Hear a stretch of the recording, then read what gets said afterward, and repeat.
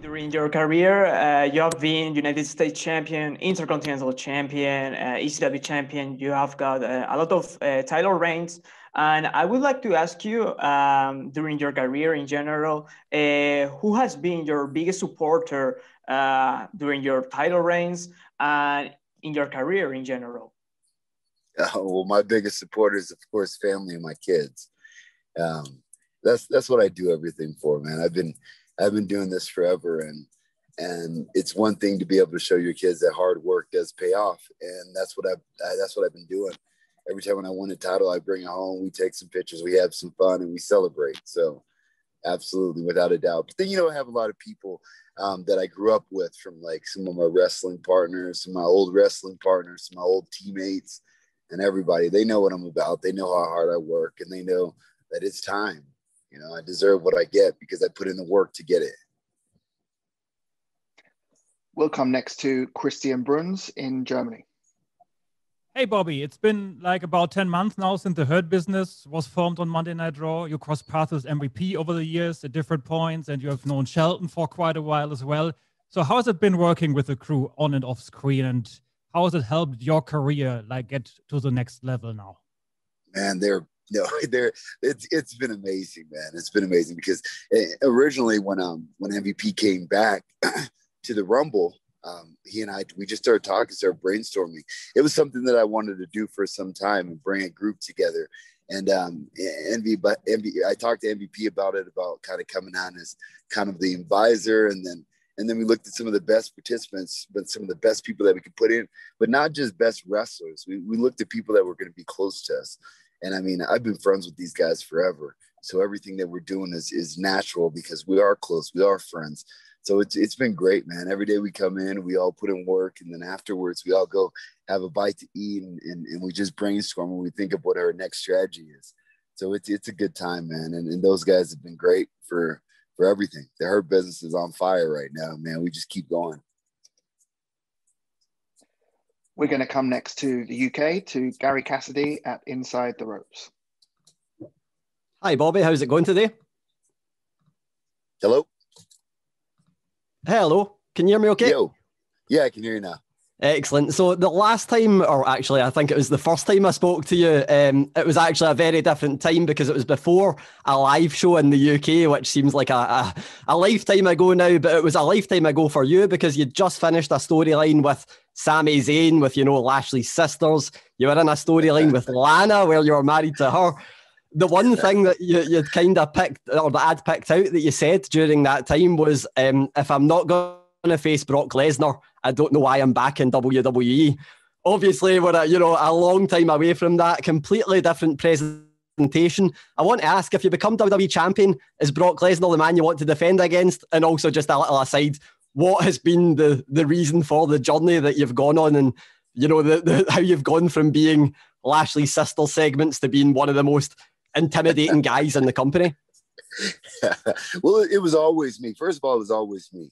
Um, you know, and, and what I always tell people is that you, ha- I, I love and enjoy every single thing that I've done in, in, in the WWE and everything that I've done, period. You know, a lot of people are like, well, you weren't where you're supposed to be. And everything's a journey.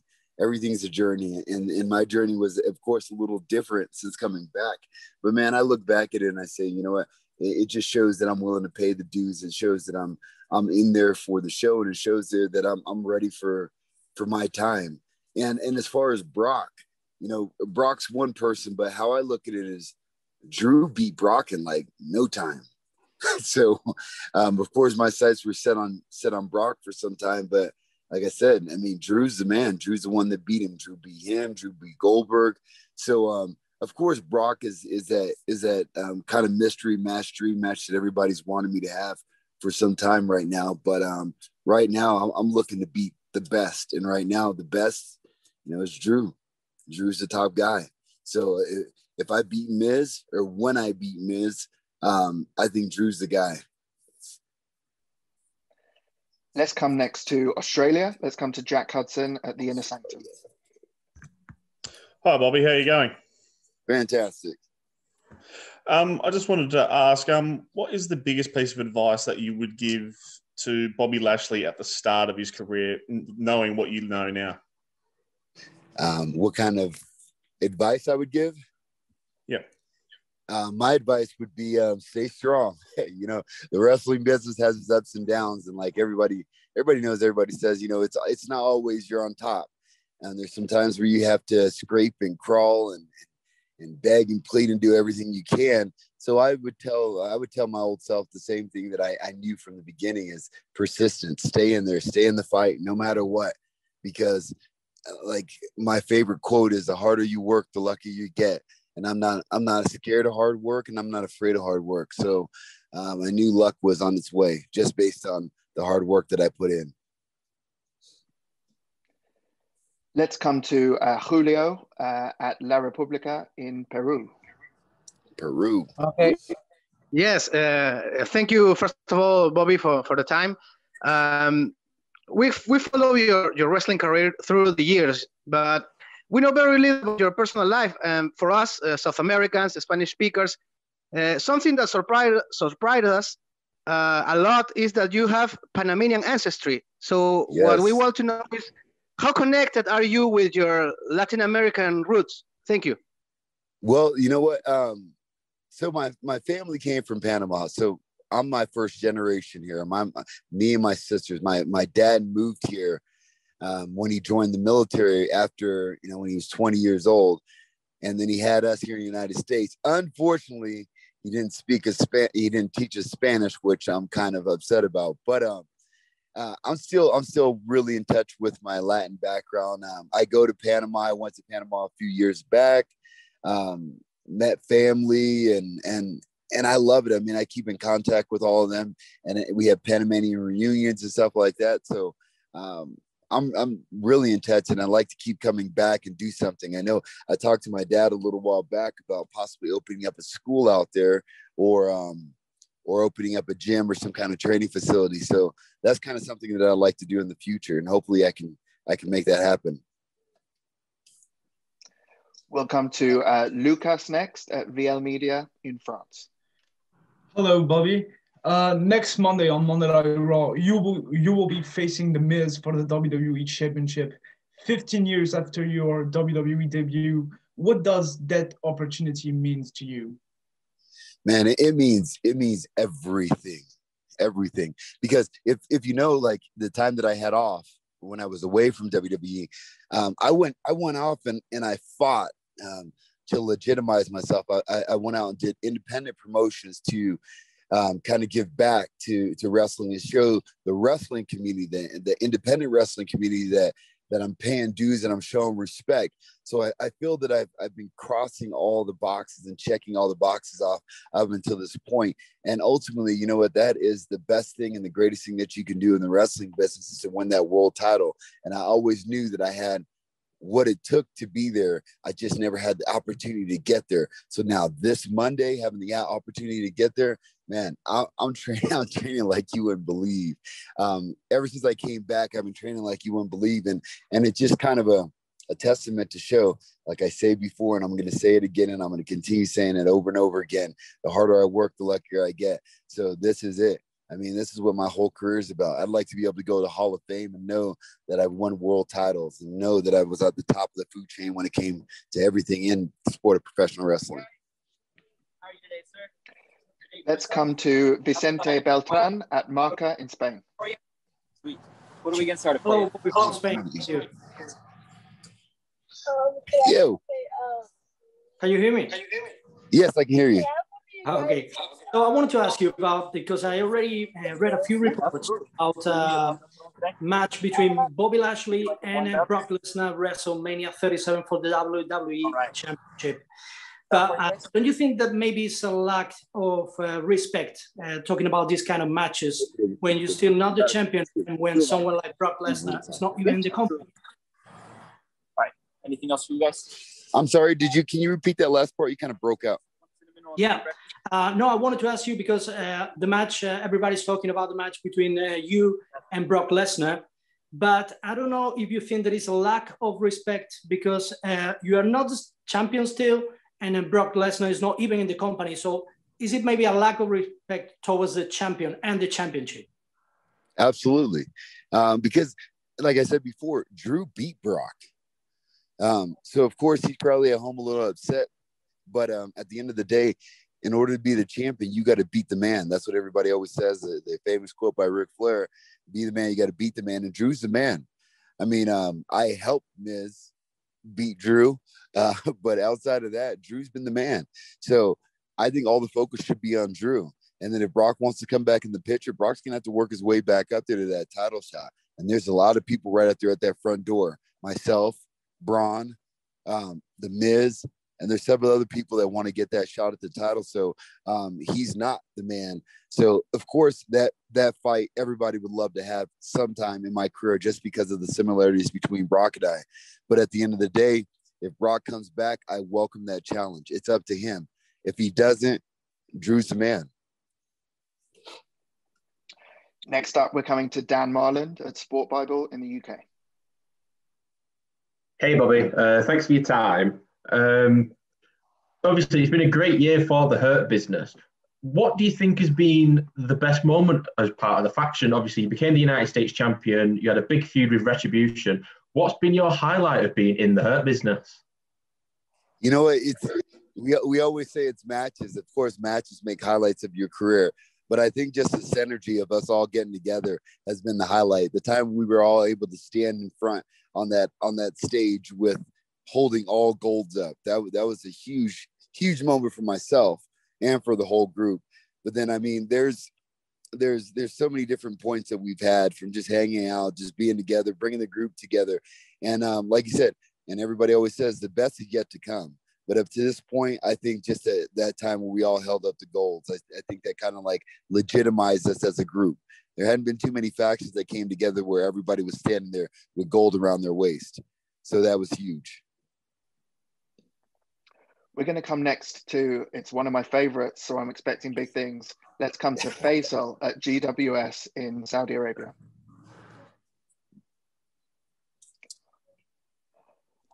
Yes, hi, can you hear me? Yes, I can. Yes, yes. Since uh, day one, Bobby Lashley, you you have been prepared to be WWE champion since a long time. So you have really a big chance uh, against uh, Miz to be what you want to be. So how do you prepare this match? Well, I, I, think you answered the question at the beginning. When I first came in, I should I was looked at as as a world champion material. So training hasn't changed. Of course, I always ramp things up just a little bit more when it goes to those big matches, but training hasn't changed. I'm doing all the same things that I've always done, and um, I, it's just I, I work a little harder, work a little smarter, but um, it's it's business, man. The Hurt business is about business and business as usual. Let's come next to uh, Mauricio uh, over in Mexico. Yes, hi, Bobby.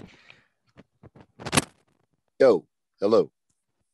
Uh, everybody's talking about the WWE champion, the WWE opportunity you have the next uh, week, but we we saw something last Sunday. Can we say you have uh, partial credit uh, of this uh, WWE championship uh, reign? Yeah, it was it was hundred percent because of me. Miz, that's that's what the whole deal was about. Miz was looking at a way to cash in that briefcase, and he knew that he didn't have an opportunity to just catch Drew um, when he was down because when Drew's down, he gets right back up. So he had to make sure to find a way that Drew cannot get back up. And there's only a, there's only one person in the company that's been able to put Drew down and make Drew stay down. So that's why the deal was made with me. But of course, we're businessmen. So that business of helping him enabled me to get the shot that I've, I've that was inevitable, that I needed, that I wanted, that I finally got. So of course, I was the reason why Miz won the title. Next up, we're going to come to Matty Paddock over in the UK. Hi, Bobby. Thanks for your time. Um, you've, no touched on it, you've touched on it on a couple of previous questions with regards to kind of the, the evolution of, of the Hurt business, but I want to touch on specifically what it's done uh, not only for the, the career of Shelton, obviously he's had a you know a great career, but he's coming back to prominence now, and Cedric in particular, because incredible athletes though they are, they obviously weren't really being utilized terrifically on television prior to the Hurt Business. Tell me about kind of their contribution to it, and and how pleased you are that they're now kind of getting recognition really that many feel they deserve. Yeah, man. Um, I, I love it. I think it's amazing. You know what? There, there was one thing that I keep going back to these quotes that I live by. Um, and, and one of the quotes is sometimes you have to believe in somebody else's belief in you. And when um, MVP and I put together the Hurt Business, we looked at some of the people that we knew that had a huge amount of potential. They just needed to be on, on the right platform or be with the right group. And, and if you look down that roster, you couldn't think of a better person than Shelton Benjamin Cedric. I mean, Shelton's been amazing since his entire career. And, and same as um, same with with Cedric. Those both of those guys are incredible. So they just needed to be in the right group and, and, and be around the right people in order to see their full potential. And that's what we did. That's the main thing that MVP and I had talked about. So um, bringing those guys in, they, they were a perfect fit for it. But at the same time, they're also really good friends. So it's good to see those guys um, right back on top where they deserve to be. Let's come next to Andrew Spores. Hi, Bobby. How's it going? Fantastic. Good. Um, I'm just interested to know when you returned in 2018, uh, what, what was the main motivation for your return? And was there any hesitation at all to return to the company? Um, there was no hesitation and there was motivation from the term from the time that I left. Um, you know, sometimes you have to take a step back in your career to, to, to propel forward. And I thought that it was a good time. I was at a real high point in my career when I left originally but at the same time there was some unfinished business that i that i wanted to attend to with fighting. And there were some things going on in my life. So when i um when i left i actually went right into training because i thought that um staying off and, and going to fight a little bit would kind of ease that tension of that drive of wanting to still compete. But at the same time um, the fighting was something that i kind of took to legitimize myself so that I get those big matchups. You know, if if, if the Brock matchup was going to happen, I would have the fight background. If if if you know the big matches like with Drew coming in as hot as he is, you know, what's a new equalizer for Drew? Somebody that has a fight background, somebody that loves to fight, somebody that has proven his fight ability. So um, it goes beyond wrestling. It was just something that um, you know you have to take a step back and prepare for. So I never wanted to leave, and I and and and coming back, I, I knew that it was a good time. Thank you. So I was ready. I was ready for my comeback. Let's come next to uh, Nims over at SEN Radio Australia. G'day, Bobby. Great to chat. Uh, now, you talk about the the stellarness you've had in your career. This is probably one of the biggest matches that we've seen on Monday Night Raw, or the anticipation for it, in quite a long time. But you're absolutely no stranger to these high profile matches. I mean, famously, you're part of WrestleMania 23 with the Battle of the Billionaires. In fact, here in Australia at Super Showdown, the first ever live broadcast, you tagged with John Cena. So, and you've been a world champion outside of the WWE. So, how would you rank all of those opportunities compared to this one to uh, on Monday Night Raw, since it seems to be so important for your career? Man, you know what? I, I, I can say all those were enormous, but this one is it's it's at WWE. It's a world title in WWE. You can't get any higher than this. So I mean, I got to put this like a little bit higher than everything else. But like you said before, man, I am I am ready. I am prepared. I was built for these kind of matches. I love them. You know, some people get the, you know, the butterflies in their stomach. I get the same butterflies, but at the same time, man, I go out there and I just, I, I love it. I embrace it. I can't wait for Monday to happen. Like I, am training. I'm, I'm, I'm trying to get to sleep early so I can wake up early so I can train again and prepare for it. So this match is going to be enormous. I mean, me and Miz, we're gonna we're gonna tear down the house, but I'm gonna I'm gonna rip them apart and take that title because this is something that's owed to me. Let's come next to uh, Auguste at Wii Sport in France. Yes. Uh, hi, uh, Bobby. Um, hey last Sunday, you lost your United States uh, Championship at Elimination Chamber. uh, when you when you will have won uh, the WWE ch championship, uh, is uh, is what you will want to to recover this United States uh, championship and become a, a, a double ch champion? You know that would be beautiful. That would be beautiful to win the WWE championship and then and then go back and beat up mid or beat up Riddle and um and take the United States take the United States championship. That would be huge. I never even thought about that. I, I kind of put all my focus towards Miz at the time since I had that match. But um now that you say that, that might be something that we might have to sit down with, with the hurt business to decide if we want that title too. Because right now, like we said it many times before, we're in for the gold, man, and we're trying to take them all. Let's come over to Kenny McIntosh at Sporf in the UK. Hey, Bobby, how's it going? Fantastic. Uh, well, listen, I just kind of picking up from previously. I mean, I think in, in fans' eyes, the biggest match you've had in WWE so far was the Battle of the Billionaires at WrestleMania 23 with Trump, McMahon, and Austin. And I kind of wondered, you know, when you beat Miz, are you looking towards this year's WrestleMania? Because you know, you walking into the first WrestleMania with fans in two years with the WWE Championship, that feels like it would eclipse your WrestleMania 23 match, which is the biggest one you've had so far. Has that entered your mind? And how important would that be for you as a kind of milestone to be able to be the guy to walk into that WrestleMania with the belt?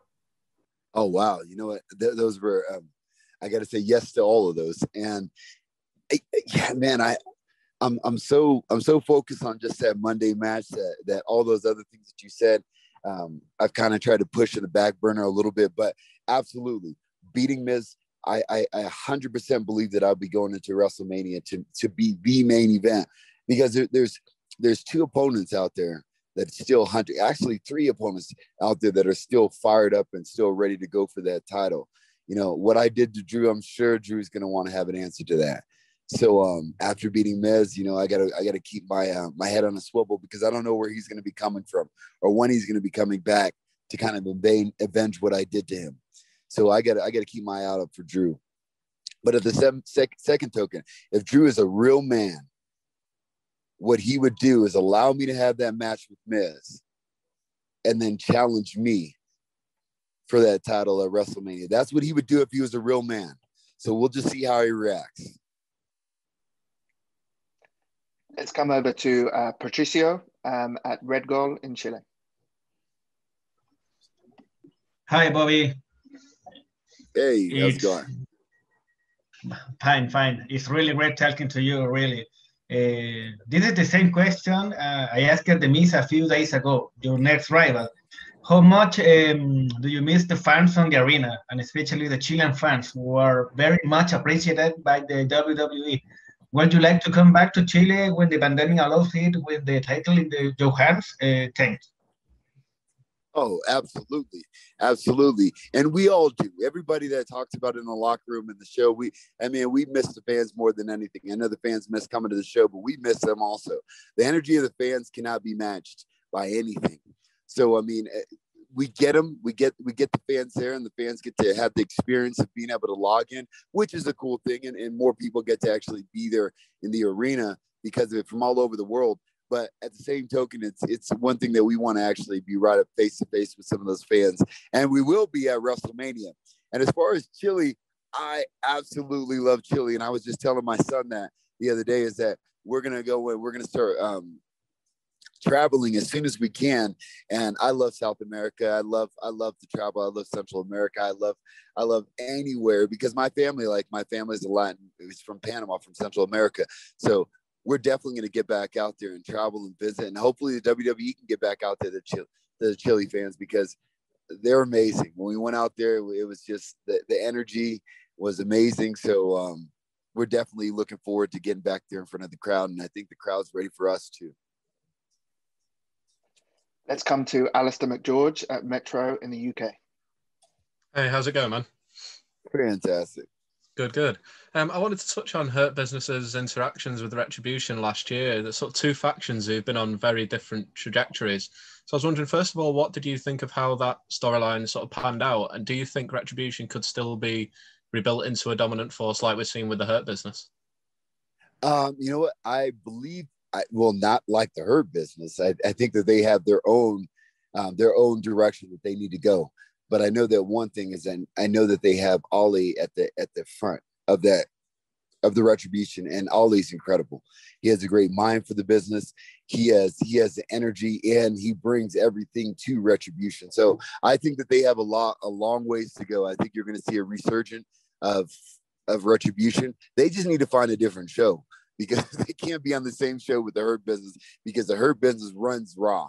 So if they want to be able to bring themselves back up and be a dominant force, they may need to look at SmackDown and, and may need to look at a different different direction. But I love those guys and I love that feud. They have some big, strong guys there that are that are tough, and they have Ali that is that is probably one of the best in the business. So I think that they have a long ways to go. Right, we've only got time for a few more short questions. So we're gonna we'll start with Ash Rose. We'll then we'll come to Elva and we'll end with Ollie. So uh, let's start with Ash Rose. Go ahead. Hey Bobby, uh, just a quick one from me then. In, in terms of it's a big match on Monday, would you say this is possibly one of the biggest matches in your Raw career? You know, we've seen Miz do media this week. He's up for it. How does it rank in terms of all the stuff you've done on Monday Night Raw in the previous? Well, I'm, I'm going to put it at the top just because of what's behind it. Um, I've had some great matches on Raw. I mean, I, I beat Roman on Raw. Um, I had I had um, Finn Balor on Raw. I had Elias on Raw. I had Braun on Raw. I mean, there's been so there's been some crazy things involved um, that I've been doing since I've been back, and and all have been great experiences. But just having the chance to go for that WWE title and be able to get that WWE title, I think that's got to be on the on the top of my list. Let's come over to Elva. Elva, please go ahead. Hi, Bobby. Thank you for your time today. Um, I want to ask you about the hard business. If you can add any woman on the roster, who will be and why? If I can have what? Uh, add any woman. woman? You, yeah. Oh, oh, shoot. Um, see, this is how rumors get started. Uh, there's a couple people that I think that would be um, definitely in line for the hurt business. One of the ones that I've, I've seen tweeted about several times, and I think that she's just in line for what we're doing is, I mean, Naomi. Naomi's one. She's she's definitely on top of the list. Uh, another person that that some people hadn't thought about too much is Mickie James. Mickie James. I mean, I, I started out around the same time Mickie did, and and Mickie and I have been really close friends for a long time. And I think she has that same mental attitude that we have, that her business has. So I think Mickie would definitely be someone. And I don't want to leave out anybody, but there's a couple other people that we've kind of um, been talking about, but um, I'll, I'll just leave it at those for right now. Let's come to our final question with uh, Ollie Browning at Gimme Sport in the UK. Hey, Bobby, thanks for your time. Um, obviously, it's really exciting to talk to you ahead of this title shot because, you know, a lot of fans think that this is where you belong on the roster, you know, dominating on Raw for the past year, shot at the World Championship. And I know you said you enjoyed everything you've done since coming back, but was there any part of you that felt a bit frustrated with where you with where you were on the card and sort of the, the, years previously? And did you expect to have to wait almost three years to be in this position now?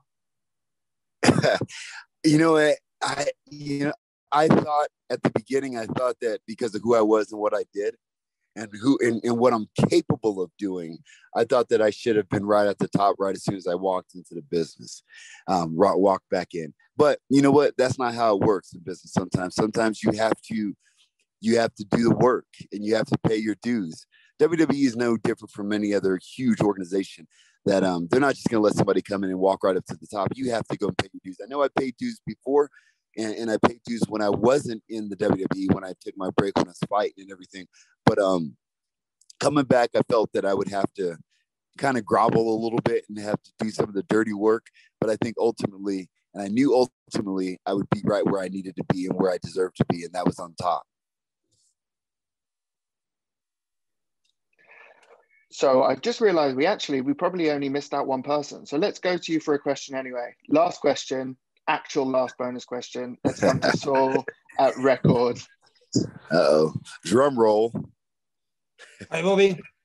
Hey, what's up? Hey, uh, in the second sta- in the second stage in WWE, you had had more projection, and this will be your second chance for the WWE Championship. What did you learn from that first opportunity against Drew McIntyre at Backlash? um, never take your eyes off the title. That's the biggest thing. You know, every, when you get into the wrestling business, there's all kinds of factors that can kind of, kind of pull you away and, and, and, and take your focus off of what's important. And that's what I did. I mean, having a big opportunity like that, I never ever want to have an opportunity like that get pulled away from me because I don't have my my focus on where it needs to be. Going up against Miz, you, you can just think how many people right now don't want that to happen. Drew pissed off because what I did to him at the pay per view. Braun pissed off because I put him to sleep last week on Raw, on Raw, and then anybody else going after uh, Miz. Miz has a ton of people that want that want want his head. So um, although I have Miz to to focus on, um, I got to kind of look at keep all those other factors in the back of my mind.